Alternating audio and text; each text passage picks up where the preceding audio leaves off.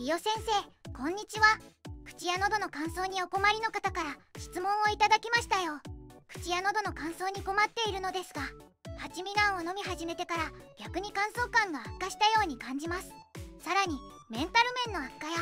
しばらく収まっていた片頭痛の発作が起きたり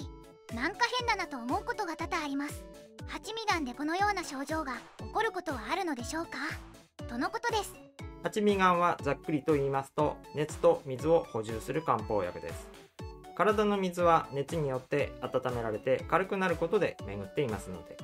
体が冷えてしまうと水の巡りが悪くなって体の下部を中心にあちこちに水が停滞することとなります。ところが蜂蜜がんはかなりしっかりと温めますので乾きすぎてしまったり熱くなりすぎてしまう場合もあります。でも水も補充してくれるのですよね。ただ薬の特性として熱や水を補充するのが主な働きですのでそれらをきちんと誘導する気の巡りを調整することはありません。つまりお風呂の火力を上げて水を補充してはくれるんだけどかき混ぜてはくれないのであとは自然に任せるような感じになってしまいます。そのためストレスなどで気の滞りがあるような場合に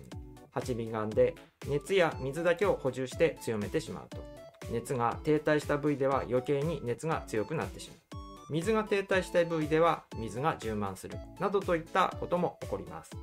ですので適度に水と熱のバランスが取れなければ口や喉の乾燥感を余計に強めてしまう場合もありますし